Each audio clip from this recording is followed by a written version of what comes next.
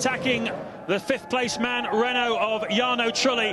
So a great scrap going on there in that back bunch behind Raikkonen. Trulli, Michael, Ralf Schumacher, Michael Schumacher, and Montoya also on the move as well. Look at Raikkonen though, he's having a go at Barrichello. Can he make it stick? Can he make it yes, stop? he can. Oh, nice move. Runs a little bit wide, but he's got track position. Where's Mark Webber gone? Down to fourth.